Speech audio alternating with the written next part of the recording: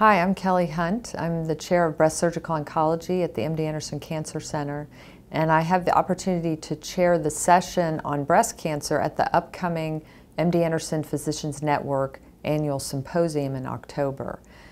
The session is going to feature a couple of practice changing areas. Uh, we have some work that's recently been published on triple negative breast cancer and selecting therapy for those patients using genomic assays to understand prognosis and prognostic predictive information about patients with breast cancer.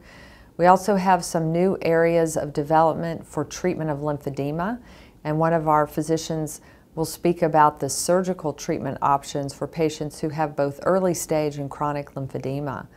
Finally, we'll talk about some of the changes in the AJCC staging system that were just published this year and will be implemented in 2018, so this will be very timely.